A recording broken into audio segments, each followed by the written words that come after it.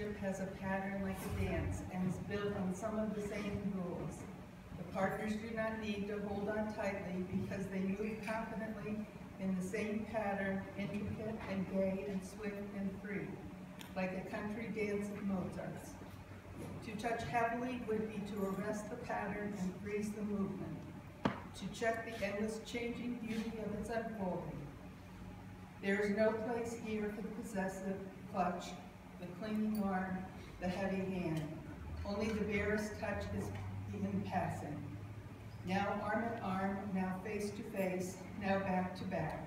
It does not matter which, because they know they are partners moving in the same rhythm, creating a pattern together and being invisibly nourished, nourished by it.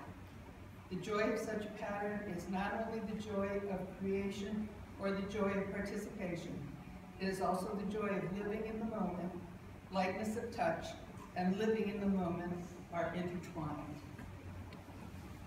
You can come this way.